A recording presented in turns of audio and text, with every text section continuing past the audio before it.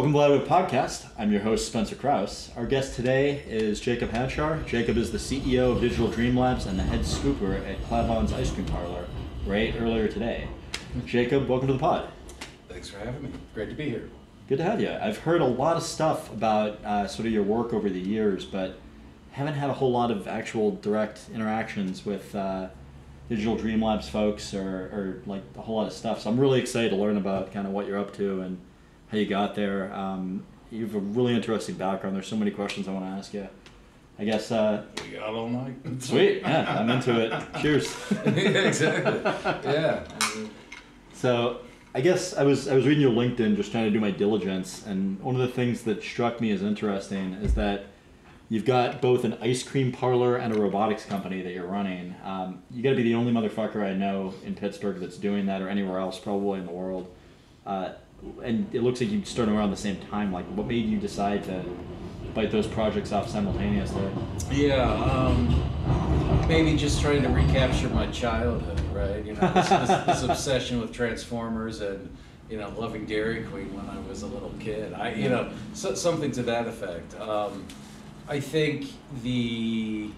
Uh, it just it just happened. It wasn't planned, and that's pretty much what I've discovered just in general um, with life is that a lot of the things, you know, you have a plan and God laughs, right? Like that's the old the old saying. and yeah, like that. hmm And so I would say that the the ice cream parlor was an interesting idea that, that my wife had. She wanted to have a kid friendly business. Cool. And with the kid friendly business, we thought, okay, let's take a look. And so we looked around town, and this was whenever we just had two kids at the, at the time. We have six now, so she's very busy. Wow, But she was- congratulations. thank you. She was concerned.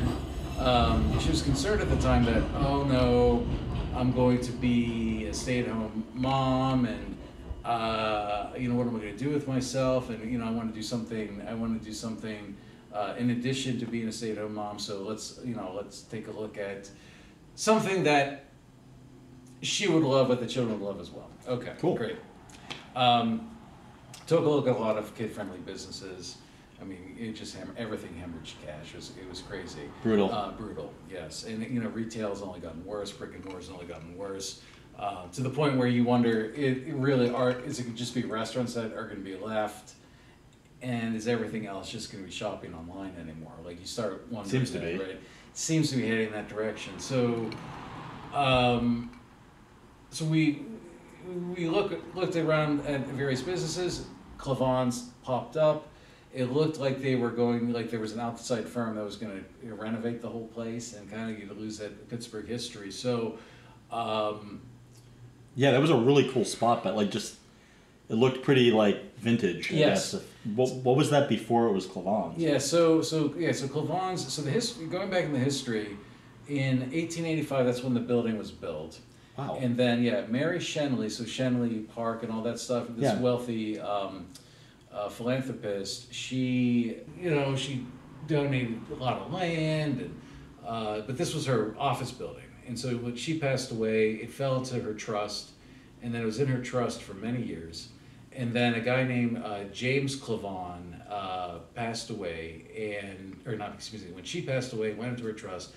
Then James Klavon, um, when he graduated uh, Pittsburgh Medical School, he bought the building, turned it into a pharmacy, and ran it as a Oh, pharmacy. interesting. Yeah, it was an actual pharmacy. So When, do you know when this was like roughly in terms of decade? yeah, so in the twenties. So, So this would have been like a probably a back alley like speak as well as a pharmacy, It just was. given It okay. was. There was actually a raid. That's uh, cool. Yeah, it's, it's pretty cool. There's all kinds of history. That's what's so cool about this place. There's so much history with it. But there was there was a uh, there was a raid because there was a little bit too much alcohol in one of his elixirs or something. Like Well, and I mean, my aunt has like a bunch of medical whiskey bottles from those. days. It's it's hilarious the things people did to get around those Right. laws. Yeah, right, and that's exactly what was going on there. Like ooh, medicinal whiskey or whatever. So. Um, doctor, I got a problem. I'm too sober. You know, it, you know, it's um, you know, it's a problem. Uh, so, um, the yeah. So let's say the the story concludes with um, him opening the store. Uh, there's all kinds of other like. Um, let's call it like, like little like side stories. Like there was the Sure. 19, in 1936. So James had one son, Ray, and Ray got trapped during the flood of 1936. So he crawled up through a window and escaped and popped out, and a rowboat came by and saved his life. So, Nice. Yeah. So later on, uh, Ray had he had eight children. This was at the same venue. Like Yeah, this is Okay, all wow. this is all the building. This is all history that surrounds the building. incredible. Yeah, and it's it's it, there's just there's so many stories. And everything from you know the raids of the prohibition to being saved from a flood in a rowboat to all kinds of things. We even did a little after a speakeasy drink called After the Flood. You know, just you That's know awesome. after you go through all that, yeah, like you need to unwind. So. Um, yeah, just just just lots and lots of history uh, surrounding the place. That's what what's so great about it and why we fell in love with the place. Anyway, fast forward to 1979, whenever um, uh, the steel industry is kind of leaving Pittsburgh, and so they shutter the place. It remains closed, and essentially it was a time capsule. And in 1999, Ray Jr., so Ray's uh, son or James' grandson, Got it. opens the place up and then essentially just starts serving ice cream and everyone is kind of really into it and And this he- is '99. yeah 99 and then he, Yeah. ru- he runs it he runs it for a number of years and then eventually he passes away of um, uh, lung cancer and then uh, the family tries to deal with it but it's a labor of love it's extremely labor intensive very time consuming um, so they they sell it and so in the, getting back to what i was mentioning an outside firm uh, they were going to probably gut the place and, eh, i just we couldn't we didn't want that to happen so Nice. we purchased the place, didn't touch it, got the ice cream business back to where it was, and have been slinging ice cream ever since. That's So- awesome. Yeah. So believe it or not, so you were talking about yeah, only doing doing these two things at once. I made the decision a couple months ago, like I really need to start putting more effort into uh, digital dream labs. Just too many things are slipping through the cracks. One thing that I'm really bad at is is delegating, but also another thing like I need to follow up better. So it's like a, there's a fine balance. Yeah, for so, sure. So we actually listed the I've place. made the mistake of over delegating quite a few times. Yeah, yeah, and there's you're always trying to figure that out, right? So the, um, the, yeah, so we listed, and it looks like, knock on wood, we have a buyer who has the right attitude. Awesome. Um, wants to buy the business and the building and just keep it as it is and expand it and all that good stuff. So That's great. so we're negotiating. It looks like it'll be a good exit for from you know us uh, after about nine years of running the place. Sweet. So that's Good luck. Thank you. Yeah. So, well, you know, there's a window there. I'm going to take the window. You know, get the get the return on investment, and uh, and then it'll be in good hands. So That's awesome. that's where Klavons now is kind of coming together. Is keeping history at the same time. I'm making a good return, and everyone can keep having delicious ice cream down in the strip.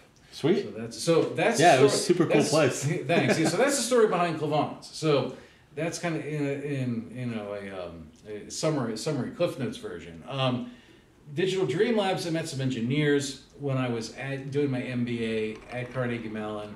So I just finished my uh, PhD in neuroscience at UCLA Oh, cool. and I was thinking, hey, I need another degree. Um, but really, I wanted to. I, I went and I commercialized a, a We drug. spend the stipend I got on a master's. That's right. That's right. exactly. Yeah. What's nice is like, yeah, I got a uh, essentially a free ride at UCLA.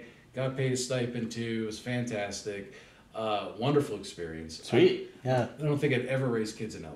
I, LA is an interesting place. I used to I interned at SpaceX like a while back, and Okay. so I, I lived there for three months, and I got what was that like? it was it was arduous. I'll put it that. My first Friday was a 19-hour day, um, but it was interesting. Like it was a really really cool experience. I don't think I would trade it. Um, Okay. if, I, if I had to do it all over again, I would do everything the same way.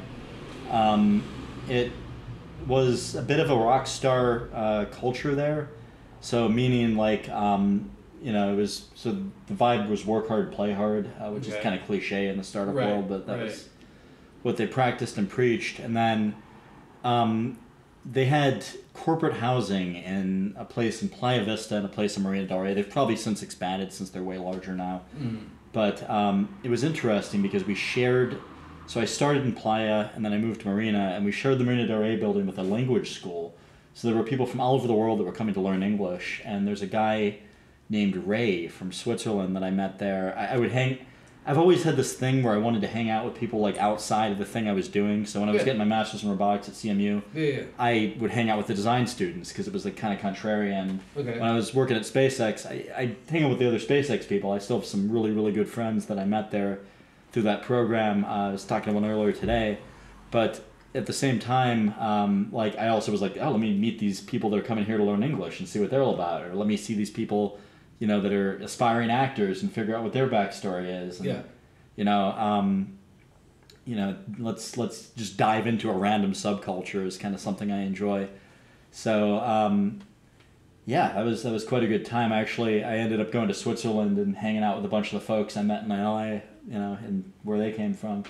One guy um, had the best American accent. So this is like so tangential, but Mhm. that's kind of how this this podcast goes. Is we just kind of go off on random, you know, it's just having fun. So anyway, so um, this one guy Ray, just you know, I, I didn't think he was in this program because his accent was perfect, you know, and it was just sounded like he was from LA. Yeah. And I'm like, how long have you been speaking English for? He goes, one year. It's like, fuck me, you know, that's crazy. Crazy. And so I'm like, well, what made you decide to want to learn English? And he goes, well, I, I really liked NWA and Easy E and, uh, you know, just all this old school hip hop, you know, from the 90s. And he goes, uh, I wanted to know what they were saying in these songs, so I decided to learn English. So, I thought that was an amazing motivation. I'm It also is. an old school hip hop fan. So, That is that, that actually. That's very interesting. yeah. Yeah.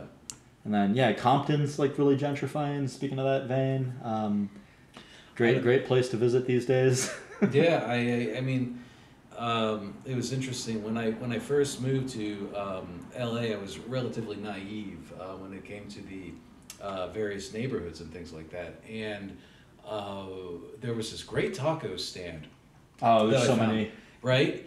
And there, it, and it's uh, it was it was right on. Um, uh, it's it's considered a day, a, a, quote unquote a dangerous neighborhood, uh, considered, one. But at the time, I didn't really care or even know like there were all Yeah. these d- divisions. So I would go and get in this taco stand. It almost became a ritual. Like after like Friday, it was one time where I just go by myself, get a taco, just hang out, and just uh, just chill. And That's a great time. yeah, and you know, early twenties, stuff like that, and then of course, then I would go and meet up with my classmates or you know friends like that. We we would go like hit the bars or what have you. Um, For sure, there's a lot of great ones Yeah, there. Yeah, yeah, the so- beach bars are like they don't have that around here. I know, I know, right? That's well, we're, I guess we'll have to work on that uh, with Pittsburgh. The nightlife is still kind of lacking there, but Concur. yeah, it's so yeah, everything shuts off as soon as the sun sets here, man. The town shuts down. I live in Squirrel Hill. It's brutal. Yeah, yeah, like you can't even can't even get a decent deli sandwich. I feel like Lawrenceville's kind of like the exception, but even they close down at like 11 p.m. Yeah. You know, so. Yeah, yeah, you're not. Yeah, you're, you're you're just not gonna find a place that opens. Like Madrid, for example. that- Oh. like 4 a.m. Right? Sure, but nothing opens till 10 a.m. Right. Yeah. Exactly. It's- yeah. Madrid's a great city. I love it there too. Yeah, it was, that's, I just think of the, these these polar opposites. Anyway, getting back to the the, the taco story. So, um, they kept calling. So eventually, I heard them whisper. This is after a couple times. Uh, some of the you know the waiters and what have you started whispering, call- and they were calling me Mister Five O. And like I didn't get it. And, and, and then I looked around and I didn't realize I was like, you know, the only white person there. It didn't even dawn on me. Right? I used to get that a lot when I was in East Cleveland. Yeah, like people would think I was a cop, and I'm like, I'm, I'm not. yeah, of course it's like, of course, Students. yeah, of course a cop would say that, you know. So, uh, and, and and that's just it. I say, oh, no, no, no, I'm like, oh yeah, uh, and and so, but I said, okay, so because I go there and I'm not scared, I guess was the reason they, they thought I was five out, like just okay, That's fine. fucking stupid. Yeah, I, I thought so too. I thought so too, but whatever. And then, um, and I said, well, what's the mister? Okay, I'll buy the whole you think I'm a cop. Okay, great. Why not Officer Five Yeah, right, right, like, why, why the mister? Why the mister? He said, oh, because you're so polite. I thought, okay, all right, I guess I guess that makes sense. So I, will never, Mr. Five O. Uh, so yeah, yeah, down at. Uh, I got a buddy whose nickname is Gringo. So he, he's a chef. I, I'm at, you, you ever go to a place called Fukuda in Lawrenceville? It's a sushi place that's it was around maybe like six, seven years ago. Yes. Yeah. Nice. Yeah. Okay. Yeah. Yeah. So Hoon owned it. Yeah, it was it was fun. The place, the people that started DiAnoia's uh, were like regulars. I was the third biggest spender there after the Chinese mafia and the DiAnoia's family. so, That's funny. in that order. That's, that's funny. I, I would go in there. I, I just loved it so much, and like it was it was just such a great little like, just for the drama. Like I, I'm not like a guy to watch like you know like drama television and that, but like I love going into a sushi bar and just bullshitting with people and you know just you know slice of life if that's kind of cliche, but Yeah. You know just just to just to hang out and um, yeah. I don't know why why did I bring that up? I had I had a reason and it totally is escaping me. Uh, we're talking about um, Mr. Five O. Yeah, the cops, Compton, L.A. the chef was from San Diego but I- I don't think that was um, hanging out. Oh one of the the guest chefs that would come in um, he was this like he's cool. Greg Fitzgerald. He's still a really good friend of mine. Uh, he lives right down the street from the studio, but um, the guy is great. Like he um, he's been a chef since he was like an early teenager. He would save his money, you know, and, and just buy rental property after rental property after rental property and just build it up. And um, you know, he uh, these days he just doesn't have to work, and he didn't when he was working there either. But he enjoys cooking, and he's really good at it. Like when I am at like one of those guy that guy's barbecues, like you can see the smoke coming off his knife because he's so fast Right. when he goes. But um, anyway, his nickname is Gringo in the kitchen because he's like the only white dude in like the kitchens he works in. That's that's that's why I thought of that. Yeah, that's funny. Yeah. Yeah. Yeah, just just yeah, King Taco um, is the name of the place. Oh, dude, uh, I think the Living Legends talk about that place in After Hours. Oh yeah. Yeah. Okay. Yeah, it was, it was King Taco. The, the line is like, "I'm going to King Taco in East LA. I'll see your sister there." It's, I think I think there's more than one location now. I think yeah, um, I think there is.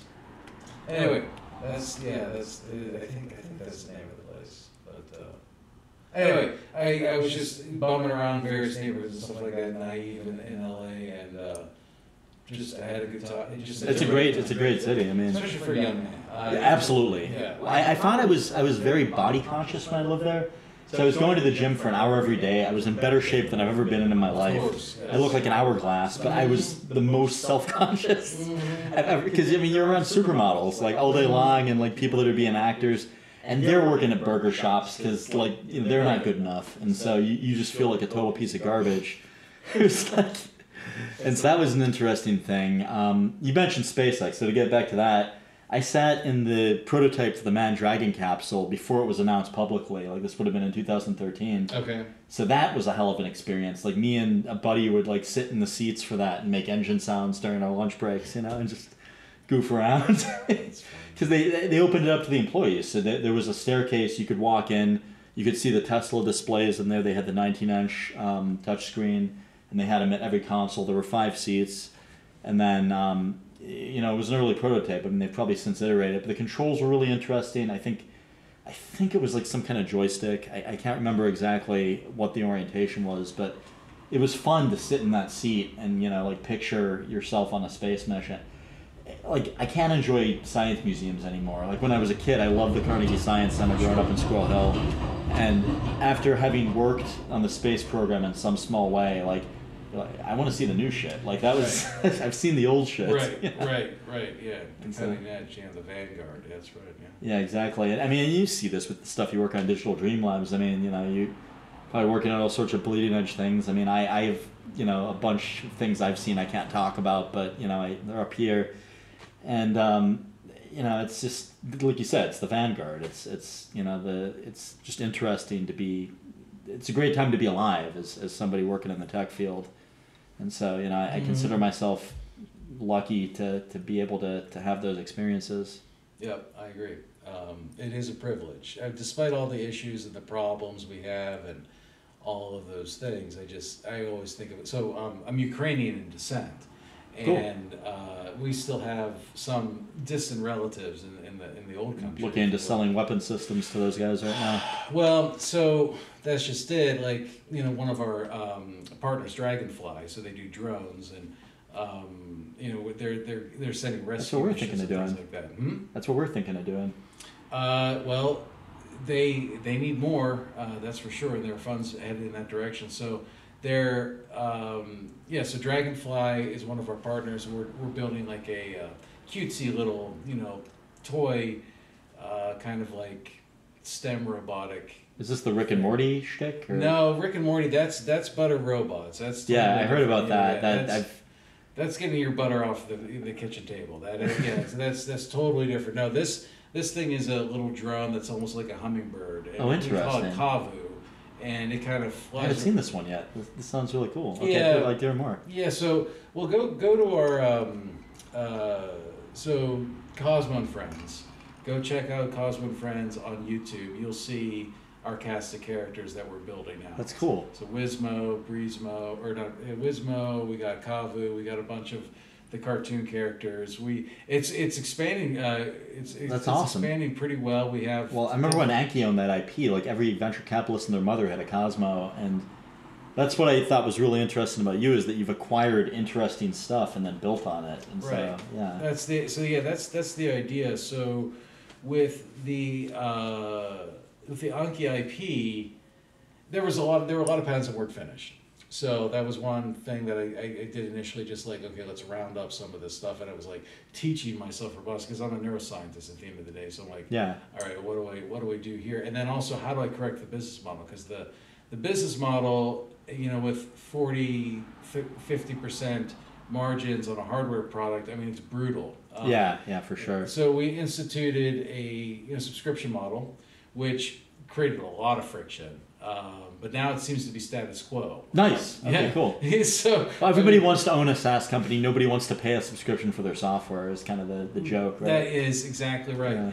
And so we were able to break through that wall. And believe me, we wouldn't be around, we would not be here today if we had not instituted that SaaS model. Beautiful. Yeah, for sure. And then the next thing is the license, licensing model, like have some licensing revenue come in. And that's where the cartoon uh, comes in. Now all of a sudden, I don't have to spend hundreds of thousands of dollars or millions of dollars advertising. Cartoon's doing that for me, and it's bringing in revenue, right? That's So- awesome. so now we have these additional revenue streams that now make. How did you approach like Justin Roiland at all about like getting that? He found us. Are you fucking serious? Found us. Yeah. He saw. He said, "Look, look. I saw what you did. Um, you know that took guts. So uh, I'm interested in. I've been wanting someone to build this robot for me." And we're like, okay, yeah, we'll do it. And so That's actually- awesome. So actually, we have the final prototype. It's done. The final prototype we've gone through. I don't think like twenty iterations by now. Nice. Uh, we're I mean, this is product, you know. so- Yeah, yeah, and so we're, we're actually seeking his approval um, this week or next, and after that, we're going to get the blessing from Warner Brothers, and then we're going to go into mass production. That's awesome. Yeah, Phew, boy, it almost killed us. Um, but yeah, all the tooling and all that stuff. That's just it, man. A lot of people don't understand how. Well, capital- production and R and D are totally different things. I didn't mean to cut you off. No, no, no. Go, go for it, please. Yes, talk about the difference between R and D and production because it's a doozy. So that's a prop for a fake industrial disaster we made for an ASME event. Oh, okay, okay. Yeah. So uh, the idea was originally to um, be able to. Um, so it was the ASME Inspection Rate Maintenance Robot Summit in 2020 when nobody was going out. It was a virtual event we sponsored for that year. Okay. And um, for this one, uh, nobody was engaging in any one of these events. I mean, you remember what it was like. Yeah. It was fucking brutal. Yeah. And so, you know, we wanted to um, see if we could cut through that. And so we hired an out of work Broadway set designer because nobody was, Broadway shows all got shut down. Um, and she was actually my assistant at the time. Um, but, you know, I wanted to give her a project that was kind of in her craft. Mhm. And so um, she designed this whole set, uh, which is a simulated industrial disaster for those who can't see it. And um, basically, it's it's like a maze for robots, and um, we created like a, you know five kilogram robot, ten pounds, and that's designed to go through the maze. Uh, all this was put together in like a quarter, and um, is, very very just quick turn. You know, let's let's see what we can do here, and um, yeah, and I mean it, it. The people that used it really enjoyed it. I wish we'd gotten higher engagement. We were giving away FPV drones as prizes to people that won this competition. Initially, it was spot the dangers to human life.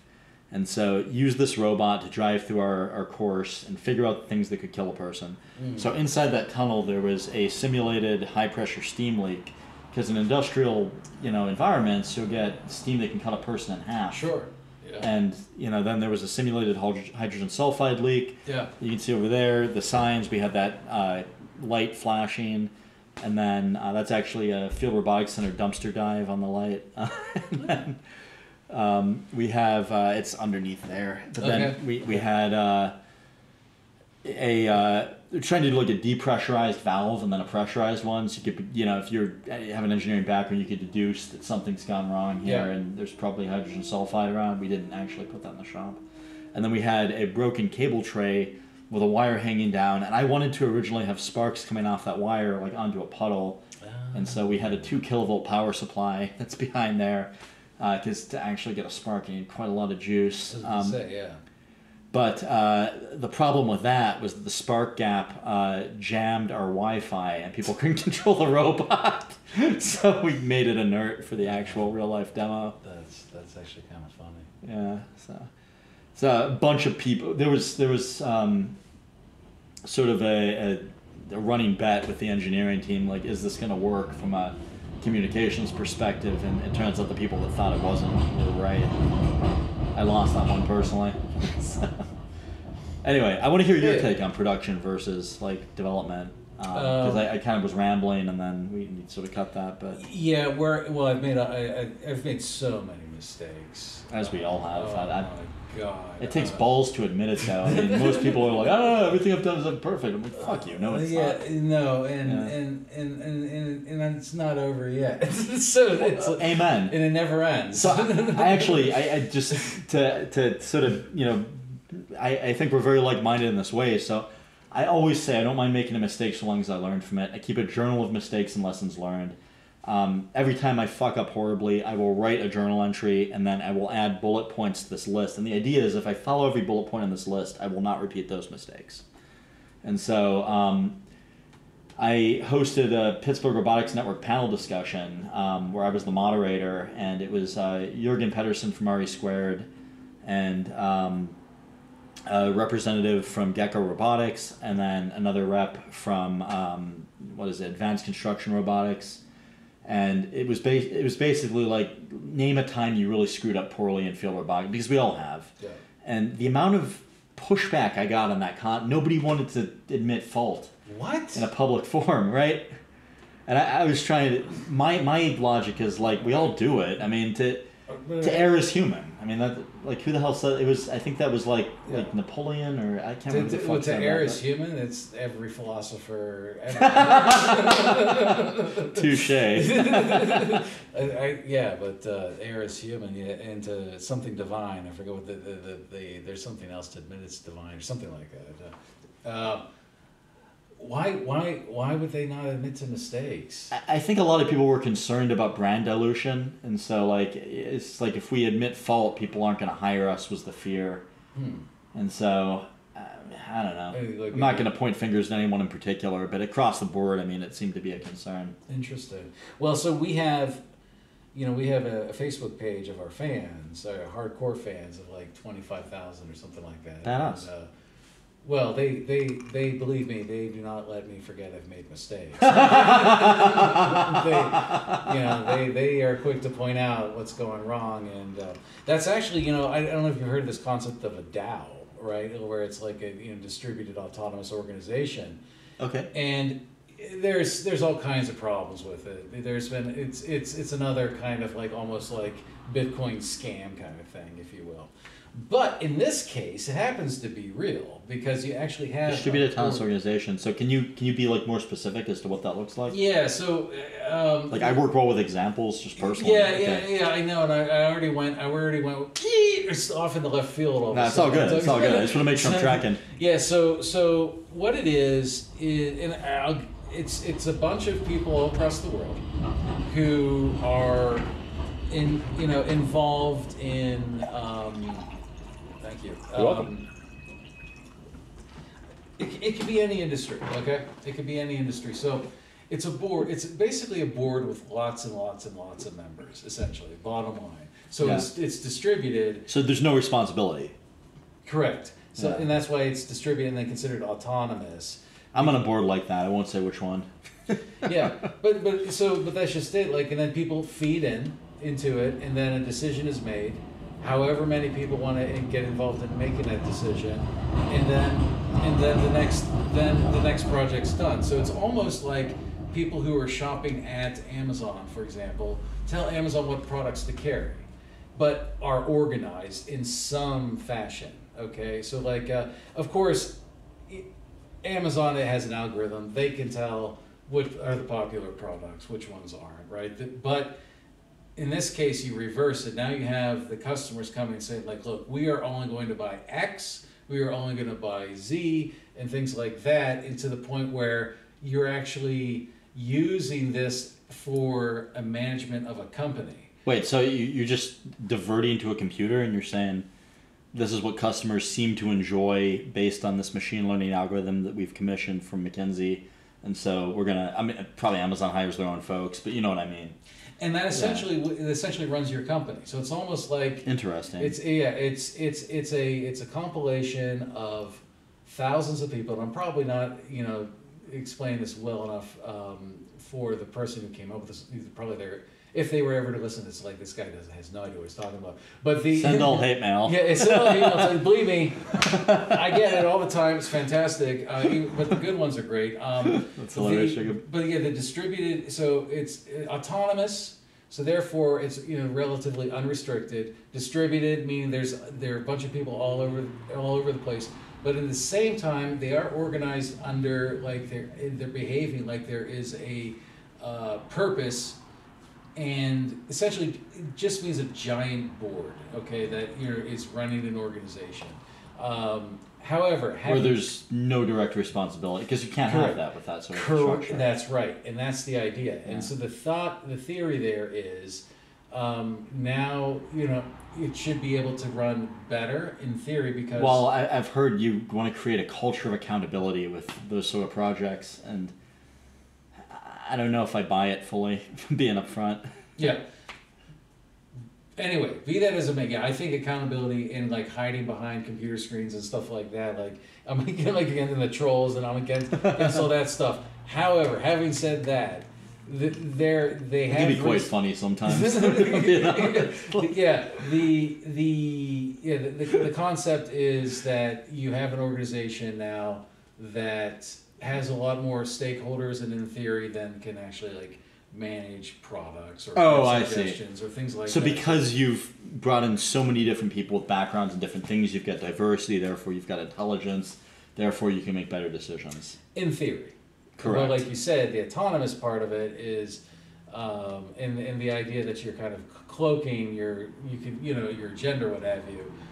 Again, it, it, it's contro- like I said, it's controversial, but I feel like I have that, and we have a huge board of twenty five thousand people on Facebook, who essentially reminding me of all the mistakes I've ever made. So I can't help but just like admit to them publicly, like. I, it's it's natural to me, uh, and we really run Smart. well, we're very transparent in everything we do, and then we still get we still get accused like oh fraud. Yeah, they're like you know trying to rip us off. They're doing all this other stuff. I'm like, I like how many CEOs have a TikTok channel? Like I just go around and I'll just film stuff we're doing. Like the amount of transparency we have at our company is unparalleled. Like we have we have more transparency than any other co- company, especially a startup where everything you're t- you're terrified that Stealth. stealth, right? Yeah. Yeah. you're terrified that a competitor's can steal something. You don't want people to know about your product development. Like, you know, from from the very beginning when I took over the IP of Anki, like it has been like very, Yeah. very transparent. Everything from our Kickstarter that we did, where we upgraded the, um, you know, upgraded uh, the the software to where we've made it more open source, the, the point where we've really you know taken a platform and taken in that taken a robot and turned it into a platform and really like not only a Well, that was platform but like The I- hilarious thing about Cosmo, I thought, is everybody got it for their kids. and then, and, but then they play with it so more than the kid. yeah Yeah, yeah, hundred percent. Vector, the average age of a Vector user is like about 25 years old. Nice. Yeah, so I mean, it's it's already up there. Cosmo, to a certain extent, is, is younger, but you know, Vector is the next incarnation of Cosmo, right? And so, um, it's it's just fascinating um, the evolution. You go from you know one set, and then three years later, now you have a lot more machine learning AI associated with it, and to the point where they are two very distinct products. They, they're very different now, and we're making both, right? Yeah, that's what I've heard. I haven't gotten a good look at Vector up close and personal yet. I would like to. Yeah, uh, shit. I, I, had- I had mine at home. I should have brought it. But oh, it's uh, all good. Yeah. but so so yeah, we had so. That's the thing is like you know we have we've been very scrappy you know funding essentially out of cash flow. We have some investors who've stepped up here locally. Nice. but for the most part like we have to be very honest and open about our mistakes or, or else you know we won't survive them right? And and that's just it. Even even whenever we talk about internally and i guess we just have really high standards the more i'm thinking about this because um, you know we talk about culture all the time and and you know anytime there's like something someone says passive aggressive we deal with it, it you know directly immediately or someone's something doing something aggressively you know where, where we deal with it immediately. It's i guess we're also extremely transparent in everything we do internally. So the idea i guess i can't i'm beating this dead horse to death but It's all this, this but the but the idea is like the the fact that you wouldn't be transparent um unless you're running you know military organization I can see both something like sides of that. Yeah. I mean, like yeah. the, SK because it's an agency. I mean, like a lot of that is like we're incredibly serious about maintaining the secrecy of our clients' projects Sure. because they care and, Right. and you want to make your clients' interests your own. Right. And so you care, but Right. then I mean, I talk about my journal on my podcast. I, I fucking record one of these every week Yeah. and release it, and I'm very honest about who I am, and you know, I, I maybe tell an off-color joke or two, and I, I try to be open and honest, and and just wear my heart on my sleeve, and I think that's a better way to live your life. I agree. I, I tend to agree with that. Because, you know, lies just, they just catch up. Like, you can't, especially in this day and age. It's cumbersome. Every, everything is monitored, right? So it's not even, it's just like common sense. Like, just, just for this peace of mind, just try to, you know, tell the truth. because it's gonna, it's gonna find you one way or the other. Um, so, yeah, the, but yeah, so getting back to, uh, yeah, taking over the IP, like introducing these various uh, revenue streams, I, you know, finding the right people, uh, just getting the right team together, uh, just having the right, executing the right plan, people working remotely because we were shut down for so long, and I'll tell you what, it's it's it's just an unbelievable uh, journey we've gone through to get here. Just finally, I feel like we have. That's just it. Now we're finally like, oh, you know, just just pushing the robots and getting them produced and out the door. And whew, it's been one heck of a uh, two years. Just Do you do you do done. the production in house, or is that contract manufacturers? I would think would probably. We've done every, so we started from scratch. So all the tooling we, we redid it. I mean everything. Now eh, now we're making stuff over in Shenzhen, right? In China. Yeah, it makes sense. The assembly is and all of our. That's where most of the world's manufacturing appears to be. Yeah, and you know our, we, we we store our stuff in a warehouse in Hong Kong, and we have all that stuff. And uh, long story short, though, we're making stuff over there, and then the butter robot though for Rick and Morty's being made in, in Taiwan. Interesting. Yeah, so we so we have different manufacturers Yeah. in different places. What's the reason for that, if I can ask? I mean, you just just di- just diversity because I saw when I saw when I saw COVID happening, and I saw supply chain disruptions. I needed to diversify Makes sense. manufacturers just in case one got sucked under versus the other. For sure. Like if Taiwan gets invaded, for instance, I mean, is one hmm. potential danger. Who knows? Yeah. Mean, after now, after the whole thing didn't work out for Russia, With some embargo with China and then Shenzhen is fucked. I mean, there could be any number of things. and it looks like it is right now because you look at how many. they're just there's a lockdown after lockdown lockdown, and I and I want to get too political, but it's No, I almost like try not to be as well. yeah, but it's- but it's almost like intentional. Like, yeah, now they have a device. The government, just in general, now has a device where lockdown. You know, they just Yeah. stop you. Just especially over there with an authoritative regime, we're shutting you down. Uh, you know, one of our guys we have on the ground said well, they had one case and they shut down like the whole city. Like, why? Like, just after a while, you start thinking.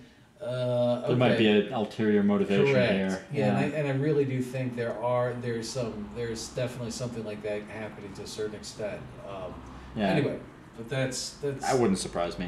yeah, yeah. Anyway, that's that's again geopolitical stuff, and again more reason to try to diversify Makes sense. and and have more than just one manufacturer. Yeah. I'm a big fan of Taiwan. Uh, Yeah, yeah. I need to go. that chassis for that robot was made in Tehran. Oh, okay, that's cool. Yeah, I, I want to go. I've been to, been to China. Didn't really like China that much. Loved Hong Kong, Yeah. uh, but mainland China. Meh, you Haven't feel- been yet. Yeah, I you feel stepped on. Immediately, like I immediately felt like um, I can't do anything I want. Like there's this feeling, Interesting. there's this fe- It's, it's it's subtle, but it's there. You know, it's Well, like the, the perception of like if I were to do this thing, there would be consequences. Or okay, yeah, like um, uh, yeah, just just this yeah, just this idea that uh, like did you ever see that BBC umbrella dance? Like there was um, there was a reporter that was trying to do a piece on Tiananmen Square, on you know obviously the dude with the tank and all that Mhm. crap, you know, but like um, there were people that just kept opening umbrellas and obfuscating the shot, trying to make the footage unusable. You know, and, and he's talking and doing his piece on the anniversary of the Tiananmen Square massacre, and people just keep, you know, like oh, it was it was weird, subtle, like it wasn't overtly violent or anything like that, but it was. I don't know. I mean, I, I haven't been exposed to that culture a whole lot, but a buddy of mine from Beijing showed me that. that Yeah. thinking. yeah. Gee, yeah, when I was in college, I, I um, my little piece of hacktivism was that I, I had a um, proxy server so that guy could browse the internet without having to deal with the uh, yeah the censorship. So yeah. yeah, Yeah, and you just run into like you run into production delays and you wonder, okay, is this production delay really real, or is it just simply because there's a competing product out there that's just messing with us, right? Yeah, it makes Someone sense. has a cousin or an uncle, or bribe some official. whatever. You never Yeah. know, and it, and and that's just it. Where I do think long term, we really as a country need to get manufacturing back over here. Yeah, and I'm really trying to do everything I can to try to get that to happen. I don't know. If no, I'm a big fan. I mean, I, I I mean, we can make we can make the robots as it is right now in, in our shop. I mean, we can. Uh, we've built out that shop enough and have so much infrastructure that you know it's crazy. So uh, yeah, I think automation's the only way to compete with the lower wage labor rate. correct, Yeah. correct. And I think if we had an assembly line and put all that together, I think you know we could really make a go out of it. But but yeah, anyway, we'll we'll see. Yeah. I mean, I, it's been interesting working on those kind of projects recently, um, and it's something I've been. Yeah, no, I mean, it's, I'm. I didn't used to really care, you know, like about like Made in America or any of that stuff, and I, I thought like, you know, what does it matter? Like I'm a citizen of the world, but then, you know, I don't know. I mean, it kind of feels good to be able to, you know, just like, you know, help your team out. just like, Yeah. you know, like let's. I've let's gotten worse. I've gotten a lot worse. Uh, especially since the, with the whole advent of you know the, the knockoff products that are out there. You got these Indiegogo campaigns, and you have this like you have these companies that are public companies that are egregiously stealing U.S. IP, but then using the Nasdaq to essentially fund their theft. Like Brutal. it's just the cycle. They're going, they're taking, ripping off our IP, they're making a uh, public company, they're going to the same people that they stole from, and then you just have this, this cycle. I mean, it's it's, it's horrible. And, Yeah. And you know they need to start calling people on it, and at long last, like the SEC is cracking down. I don't know how long it took. They're like, yeah, we need to audit you. Like, you need to start, you know, we need to start auditing your auditors because we don't trust what's going on. And like, no, yeah, no kidding. Like, thanks, it's taking you long enough. But that's that's really what it, it's its own form, like you're saying, it's its own form of warfare. There is this, you know, using umbrellas. It's subtle. It's not overt, like you said, overtly violent. But the consequences are just as, as if you went and you killed an entire city, right? You know, you totally look at the look at the towns. From a financial perspective, sure. Right, right. Look, look, Yeah. take, take a look at all these Rust Belt towns that just been annihilated. They, they, they did it, but they used finances, they used IP theft, they used all these other things versus dropping bombs, right? But they, they, they these sinister tactics, which appear, like you said, like non-violent, really have violent outcomes, in my opinion. And Yeah. We, we really need, in order to get, in order to get away from that, we need to strip that away and really bring back manufacturing, because that's. Well, you, you need to make it economically advantageous to make shit. I mean, that's the only way to do it is, is to make it where it makes. Because, like, I mean, I don't know. Like, we we've made a lot of shit in China, you know, just because like it made more financial sense, and Right. you know, it's that you do what you got to do to you know increase profits. But like at the same time, you know, I, I've done a lot of work to try to you know make it make sense to make stuff here. If that Yeah. makes Oh, yeah. sense. Yeah. Yeah, yeah, and it's rough. Like Yeah. this, I, I, I continue to investigate. However, I'm getting to the point now where I can see that it almost makes sense. With the inflation, with all the shutdowns and things like that, you, t- you look at like cost, time, cost of money. You start looking at all these other. Um, you start taking a look at um, just your ratios, your expenses, your cost of capital, on and on and on. You start examining all those things. Guess what?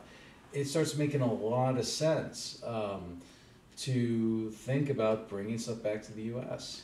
Well, I mean, one example of that I think is um, there's a startup that that um, my firm has done some work with, which is uh, they have their aluminum extrusion custom made in the U.S. because it makes with the recycling fees and some of the other.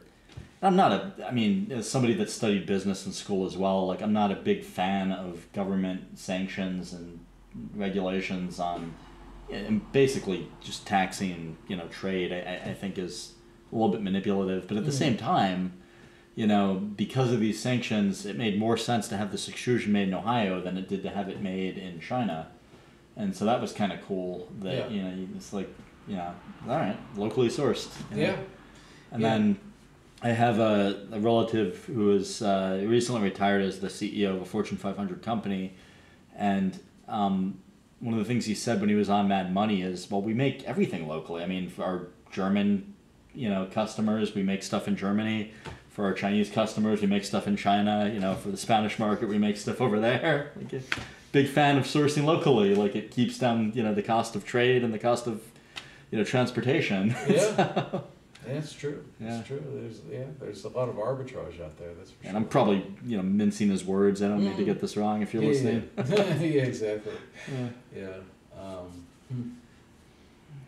but yeah, that's that's kind of that. Yeah, these are things I ponder late at night, right? Like, yeah, I'm stuck with what I have. I have the tools that I have, and I'm and I'm doing what I can do. Um, but uh, As we all are. yeah, yeah, but you know, okay, I can aspire to something. Are you going to? There's that event out in Philadelphia. The, Wait, which one is that? uh, there's a robotics event. Um, it's uh, it runs from um, let's see Monday to uh, Friday. This coming week? Yes, coming week. Yeah. So that'll be a week ago if you're the release schedule. Hold on. Let, But, me, uh, let me let me pull it up real quick. I'd be interested because Philly's kind of a cool town, and then I have family in New York, so I could go say hi to them while I'm out there. I forget what the the old. Uh, hold on. Let me let me pull up. Um, Yeah, sure. Yeah, you should check it out. You should really check it out. Like a manufacturing. I I I C R A. So I C R A. It's an interesting uh, FLA. Yeah. Well, you got that? Yeah. I see. Four letter acronym. Yeah.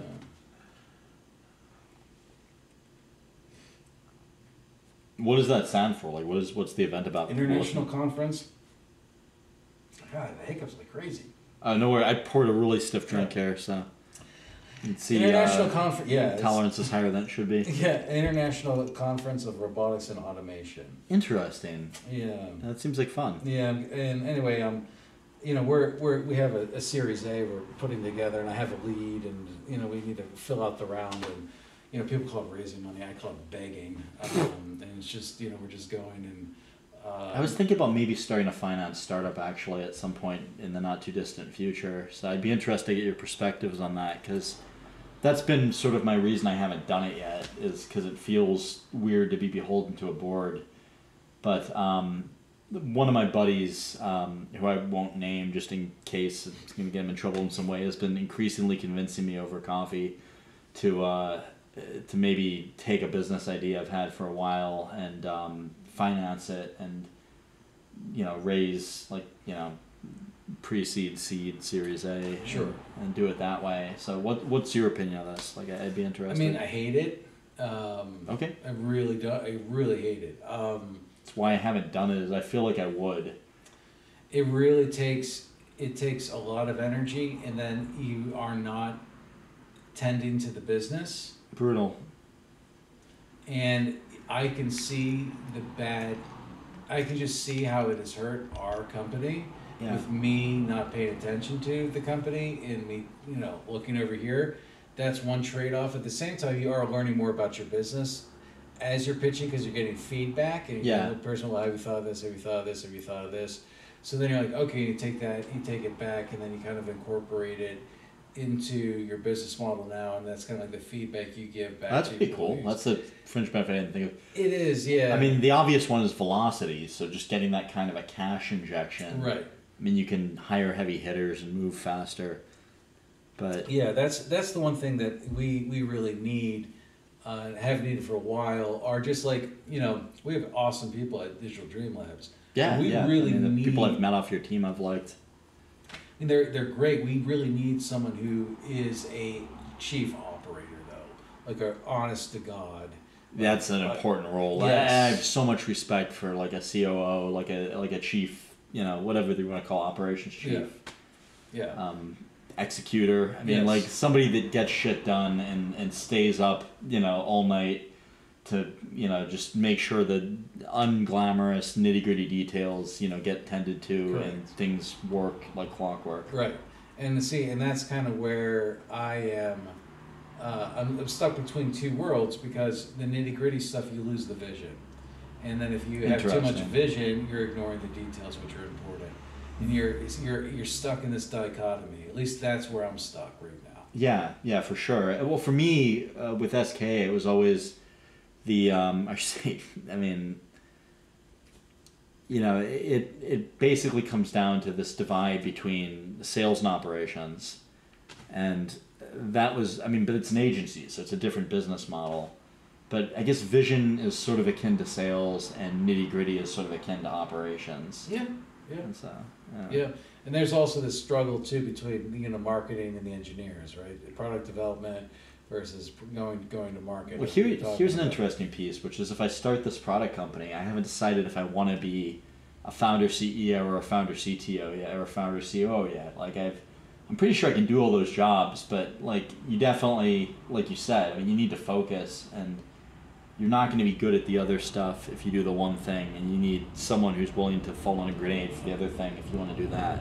Yeah, So, yeah, and you know, just because you're good at, say, you know, writing scripts or you know you name it, um, doesn't mean you should be a CTO. Like managing uh, programmers or managing engineers is very different than being an engineer.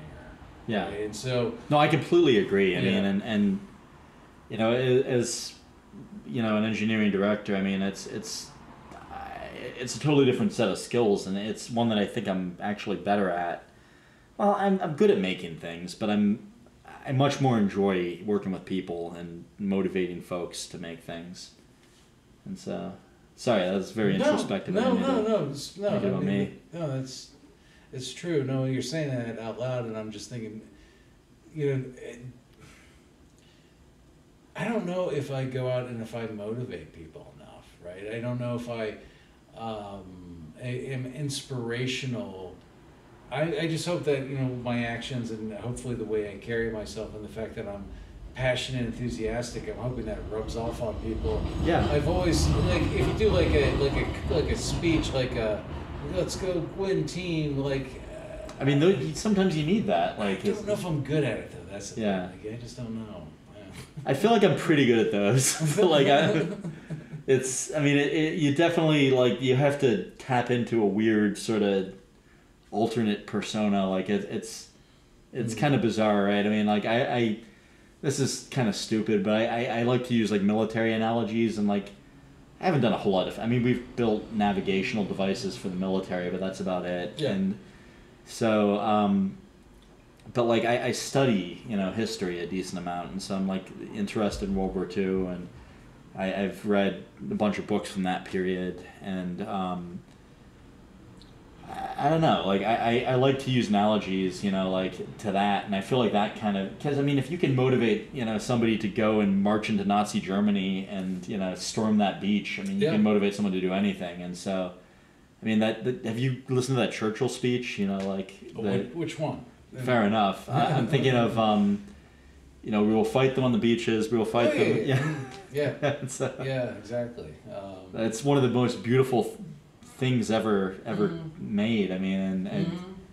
I try to sort of channel that. Like, th- there's a ring I'm not wearing today, but it, it's my grandfather's, and he was the chief mining engineer for procurement of oil for the D-Day invasion of Normandy. And when I'm having issues with self-esteem, I will wear that ring to try to just imagine I'm that guy a little bit and, and, and channel that, you know, in my work and, Mhm. and think of that, you know, and, and it's, it, it's stupid and it's a little bit of a pretender thing, but it, it makes me mm-hmm. feel, I think I'm able to inspire people better when I, when I tap into that. Okay. Yeah, I believe. Yeah, there's energies out there. That's for sure. Whether you know whether you're religious or spiritual or something like that, there are things I think we can tap into that we don't fully understand. Right. Like, Radio waves 200 years ago, 300 years ago, you played a radio, they would have burned you at the stake, right? like you know, for witchcraft. So, can you imagine the things we're still not, we still don't know? right? Yeah. There's all. I'm sure there's. There's a ton of them. I mean, Well- it's infinite. well, and they have like this is super weird. Did you this this morning they were playing um, the sounds of the, the black hole in the center of the universe? Did you did you or of our galaxy? It's fucking creepy. Interesting. But, the the gravity, How do they interpolate that yeah, into so so the gravity waves coming Okay. from the black hole basically have a frequency, which then they're basically taking that and then Moving it a few octaves over to make it audible. that's right, Okay. that's right, and it's weird. it's like you know s- you know scary movie weird. Um, Interesting. Yeah, it's, it's really Well, like a strange. whale? It's almost yeah. It, it, I, it, there's nothing really like it. It's That's interesting. really weird. Yeah, check it out. But Yeah, I would like to. but that's just it. No, I, I don't think that's that's corny or cheesy at all. I Thanks. think I I um I The I ring think- is ridiculous. It's it's it's three snakes that are like curl around your finger, and then they have like white sapphires for eyes. They kind of look like diamonds, but they're really That's like cool. that. That's cool. People comment on it all the time, but sorry, I didn't mean to. No, no, it's not. It- it- but I try to find inspiration wherever I can, or putting my struggle. That's what I've been really doing right now. Is that putting my struggles in context? Like you know we're talking about being privileged and being in the United States and having having this ability to solve problems and how great that is. I just will think about you know my great grandfather fleeing Ukraine, getting out of their one way ticket, saving the money, was hiding the money in the forest because the Cossacks were too fat and lazy to get off their horses. so he hid all the money there, and then eventually got a one way ticket out, you know, to the U.S. My parents left Latvia, or my, my great grandparents left Latvia to come here. Yeah, and you think you know they Yeah. came in with nothing. You know, they had absolutely zero dollars, and that's just how I look at it. Like I, the, the problems I have are you know developed nations problems, right? It's Yeah. not, i and Sure. and, and the, the other thing too is you gotta check check it out. It's um, um, it was Warren Buffett was talking about it, and it was nice. He said he was a person was saying like, look, should I pursue teaching or not because teaching just doesn't pay that much. And he said like, look, if you're just going after obscene wealth, like there's a certain ceiling to where you're going to be different from one person to another. Like Like he said, I'm gonna stand in line at a McDonald's or go to Dairy Queen just like you would. Like there's not maybe okay maybe I could go buy my own McDonald's maybe okay and stay go and get my own hamburger, but that's a little crazy. Why don't I just go and go and buy the hamburger? and he said he's, so so like he started giving examples of like like a person who's just you know let's say quote unquote just making let's say thirty five to thirty five thousand to fifty thousand dollars a year, okay? Yeah. And everything that you would do over the course of that life, and then of course he's at the billionaire range, but he, it was interesting because it's true. There are only certain you know portions that make his life dramatically different than than another person's. Doesn't when he you think about it. live in like a pretty modest house? Like I've heard. Yeah. Have you seen Berkshire Hathaway's official website ever? No, I, I don't think I've ever. It, it's a text-based website. It looks like it's out of 1995. it's they've got a they've got an all-text ad for Geico at the footer, Oh my god. and then yeah, it's like it's like eight like hyperlinks where like it'll change color if you click it, and then like one of them is a message from Warren Buffett, and it's it's an ad that just shamelessly shills. Um, Geico and um, some jewelry line. I can't remember exactly. Ber- Berheims, Bersheims.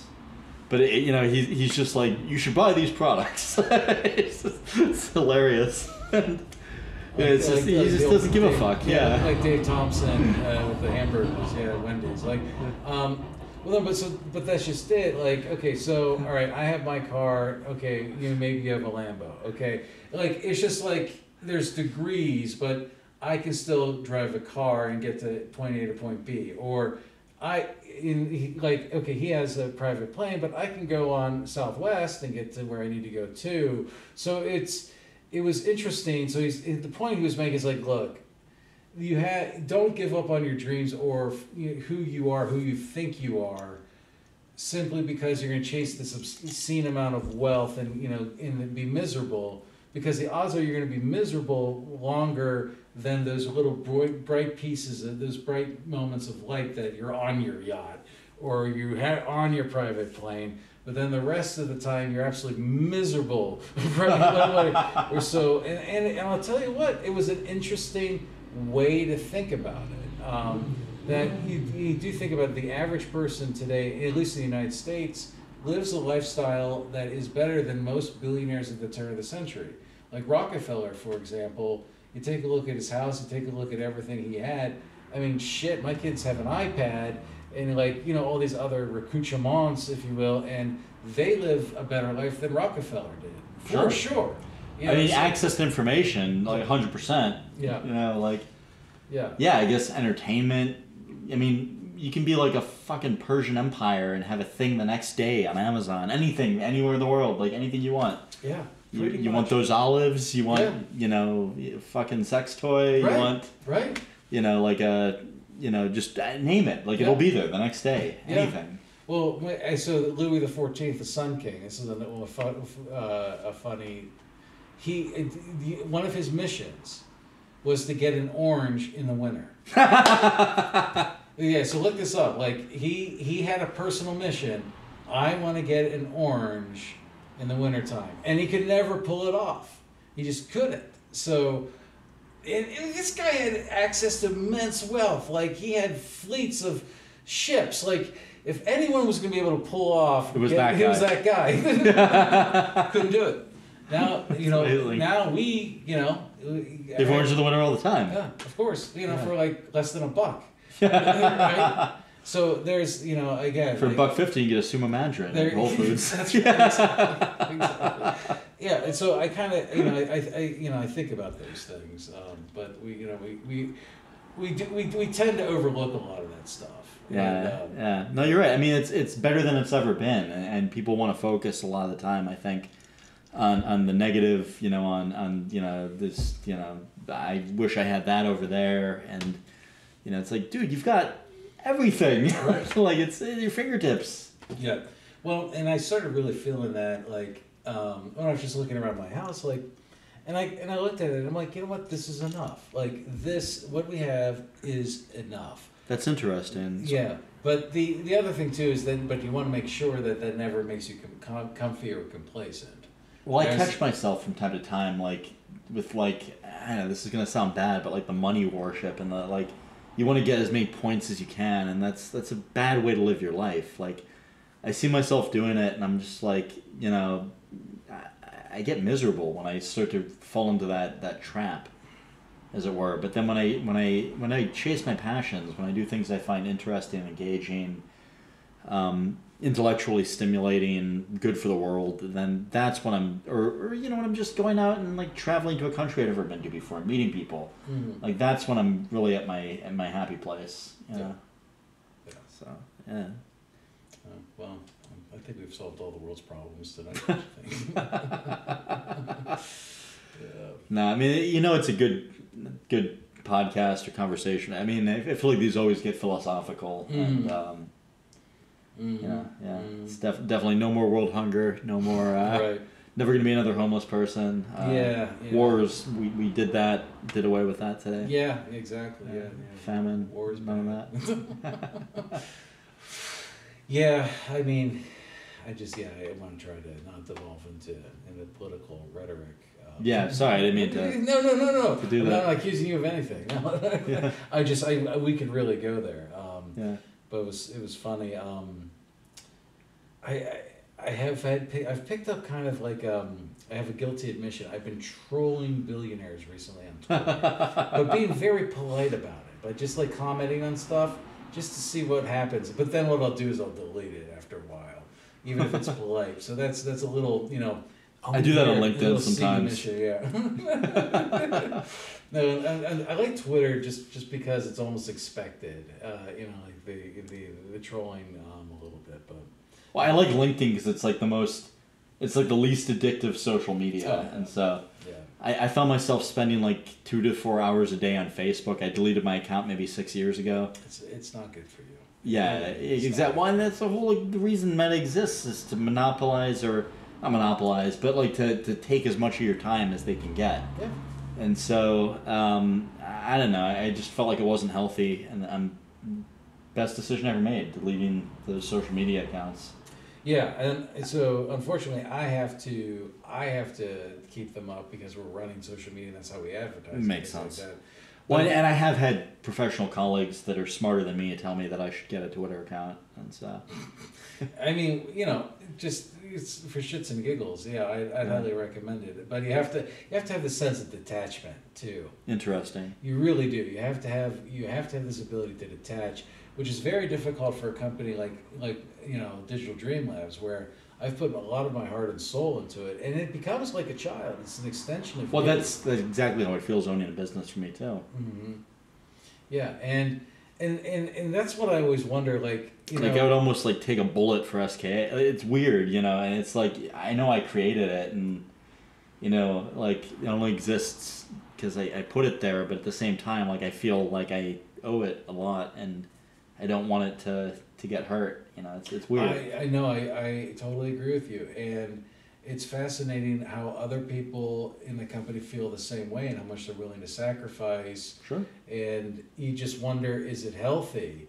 And I'm serious, like you know, Yeah, I'm, I'm laughing because I agree. Yeah, like yeah, like like should I be doing this? I and that's the other thing too. I've I I can I continue to have this existential, not crisis, but question. You know, I'll ask God or the universe or something like that. Like, should I keep doing this or am I doing the right thing? Do I keep going forward? Do I keep am I am I doing the right thing by doing this? Like, you know, it's been ten years now. You know, the company we keep we keep going and marching forward. Is that the right thing? And it's weird, you know how, how in you know the the uh, the Lord's Prayer, the in daily bread. You know, the, the, the, there's that line in there says daily bread. And I swear, when I ask that question, I get daily bread. Like something will arrive what is, what is daily bread? So I was so raised give Jewish. I this, yeah, yeah, give this give us this day our daily bread. So it's just enough to survive, just to make it through the next day. So Okay. our Father who art in heaven, hallowed be thy name, thy kingdom come, thy will be done on earth as in heaven. Give us this day our daily bread. Uh, Okay, okay. So let me let me get through this. Like you know, if I let me get through the day. Right. Basically, is what Yeah, that I says. mean, Give us this day our daily bread. Correct. Okay. Just enough so I don't starve to death. Yeah. And anytime I've like had that kind of like openness with the universe or uh, God or what have you, I get that daily bread, and it tells me, okay, I am on the right course. Keep keep mar- keep keep moving forward. I'm doing the right thing, and because I think it's it's you know the the saying that doubt kills more than fear ever will, and I really That's almost like the only thing to fear is fear itself. I mean, yeah, right. So that's just it. It's like in the other sayings, like okay, everything you want is on the other side of fear. And I, I totally agree with I that. like that actually. Yeah, everything you've ever wanted is on the other side of fear. Well, when you are able to suspend fear, I mean, think of the things that you've accomplished. You Yeah. know, and so like, uh, I'll look back sometimes on things that I'm like, how the fuck did I do that? You know, like how how did that get? Um, oh, right, I wasn't afraid, and I just just went for it. well, right, yeah, and that's just the one thing one saying I really despise is like do something that terrifies you every day or scares you every day. I'm like I live in a constant state of terror. like I just have learned to. I can barely it. sleep at night. I told you I got four hours. Yeah, because it, I, that's just it. You're in a constant state of alert, and Yeah. you have to be able to suspend that, and that that's something I don't I, I don't think people truly understand. Because I'll see criticisms of uh, entrepreneurs, I'll see criticisms of billionaires, I'll see Sure, all the time. right? But the, what what people fail Those people haven't tried to do it themselves. you you will crumble under the fear yeah. that you go through to get there. Well, the problem is, like, everybody is like, you know, you, you're living this privileged life, but, like, if, if you were to attempt to do that job, like, you would probably kill yourself from the stress. Like, it is, it is, it's not a job that I don't think a lot of people would want if they knew what it actually entailed. Yeah. Yeah. You know, even, t- I mean, I, I'm not a billionaire, but I own a business, and so, like, Mhm. I mean, it's, it's incredibly stressful. I mean, it's, it's, but, you know, it's a labor of love. Right. but I, I, I don't think I mean I was talking to a few people the other day like this was yesterday and I, I just was hanging out with some neighbors and somebody said I'm bored and I'm like that is not a luxury that I can afford myself you know like boredom like why, how the hell could I even begin to arrive at that conclusion you know I mean that's just not I love to be bored. yeah that's that's almost a non sequitur to me like It'd be such a luxury to have bored right now. But at the same time, it's the life I chose, right? Yeah, we, for sure. We chose, we chose these lives. So what I've noticed is how much the stress level, when we were puttering along and like, you know, just like puttering's a great word Well, yeah, like you know, just like just around six figures, you know, decent income, happy, and then you know we jumped to seven figures. You know, okay, a little bit more aggressive things like that. And here, this this year, we're getting into the you know eight figure realm. I'm starting to feel it. Now. Well, there's that feeling of like, okay, you've taken this money and you've got to deliver. I mean, like, okay, so what is that for you? Like, what, what is that? Like, what's the difference between six and seven and eight? Where like that's Where you're that's real. nine, Yeah. it's because now you have real enemies. I haven't made that kind of money, so like, I'm interested. That's interesting. you have real enemies. So there's again, I keep I keep you know we keep opening these fortune cookies and reading these like sayings, but like like the other one is like friends come and go and enemies accumulate, and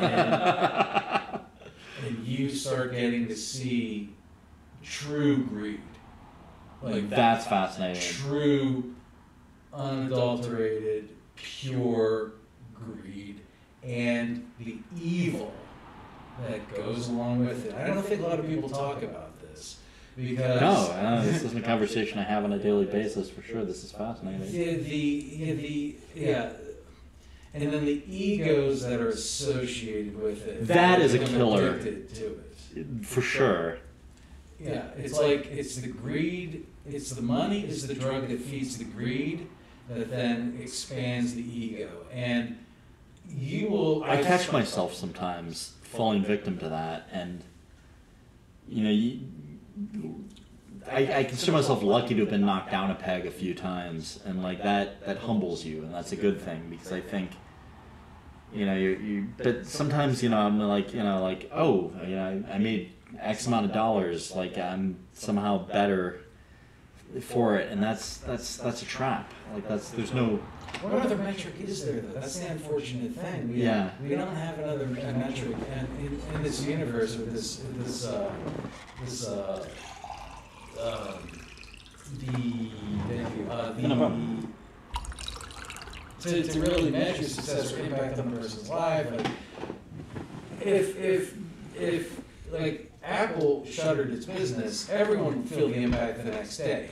It'd be, a- Yeah. it'd be a story that would last for months, right? Sure. Whereas if, let's say Klavon's ice cream parlor, yeah. If not years, I mean, everybody still knows about Alta Vista. Yeah, yeah, or look, at what, let's say Klavon's, which is, is a darling, um, and people love that place, and it's an icon, et cetera.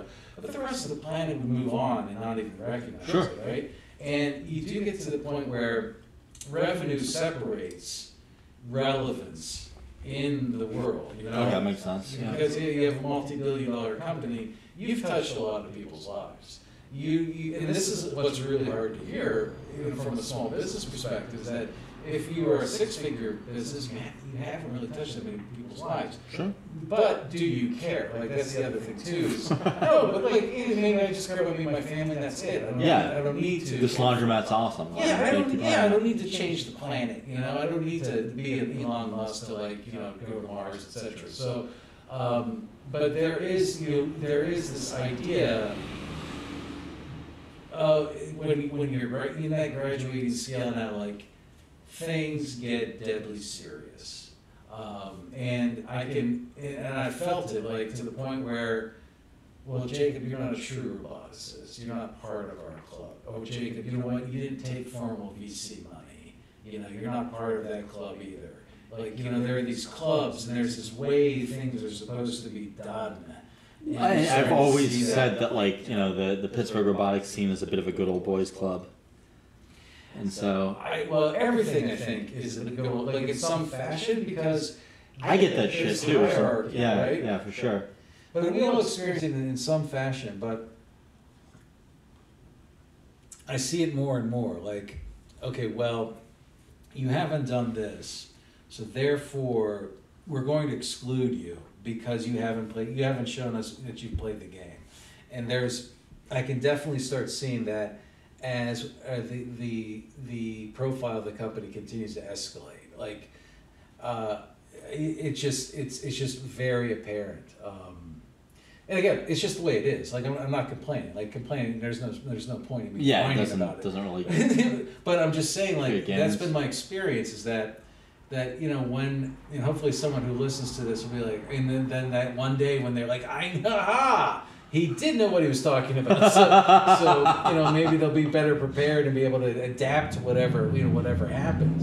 Uh, but there's yeah, that's that's definitely the graduated scale, and I can only imagine once you start hitting billions. Because you can just see the, the barrage of attacks once you. That's interesting. Okay, so you become a target to go- from governments. When when I was at SpaceX, we would get hit with like North Korea would design viruses specifically for SpaceX, where it was like coded into it in the name and the variables. Like they decompile the information security department, and like you'd be like, "Oh shit, we're a target." like this is this is because it's it's a perfect missile design. You know, the, Yeah. the Falcon rocket at the time. Yeah. I mean now Starship, but you know that, that was that was pretty serious. hmm Yeah, and it's just interesting, but yeah, you can see it, it's a graduated scale. The, the level of enemies, the level of seriousness. You know, it it cha- it, it changes rapidly. So That's interesting. yeah, so that's one thing I've noticed. Yeah, I, I haven't thought about that as much. Um, probably because I haven't done business on the scale that you have. But I've been forced into it. It's Yeah. not not like I. So that's just it. We had to grow, and it was a choice I made. Um, you know, in order to like say, "All right, we're setting our sights on this. That's that's what we're gonna do." Yeah. Well, I admire that. I mean, you know, like I, I, I said when we kind of started this, I mean, it seems like you're very good at, at inheriting a thing and then going and making it profitable, which takes a strategic mentality and, and you know, uh, uh, you got to be a realist, I think, to be able to make that work. Otherwise, you know, you're, you're just kind of masturbating. And so I have a lot of respect for that. Oh, well, thank you. You're welcome. Yeah. Um, yeah. A lot of other people don't. it's just it's it's it's fascinating to see the um, the the swath of um, bad reviews that you know we, we get all the time. Like, well, they didn't do this or they didn't do that. I'm like, dude. I mean, if I could, I would, right? Like, you and I both agree. Um, you and I are like that. Thanks for the one star, uh, but you know, I, I already I already get it. I got it. So. Yeah, uh, sorry, man. Yeah, I'm not- yeah, I don't want this to turn to a bitch fest. Yeah, so no, it's all good. It's all good. hey, this was fun. I, Yeah, no, I really enjoyed it. It's a good Yeah. note to end on. yeah. Is there anything you want to plug while we're here? Anything you want to talk about? Just uh, like a final word. We want to plug. Yeah, well, go visit us. Uh, we have a, a website, new website we're launching, uh, so it'll be much more streamlined. Uh, you'll be able to find our products more, really focusing on direct to consumer. So you can www.digitaldreamlabs.com. But the thing I really want to plug is Cozmo and Friends. So co- go to YouTube, type in Cozmo and Friends, like and subscribe, like and subscribe. Um, and do that for collaborative Spencer Krause too. yeah. So that's it. That's that's it. That's it. Dude, Jacob, thank you. Yeah. I, I, really appreciate yes, it. It's yeah, same here. Yeah. It was fun.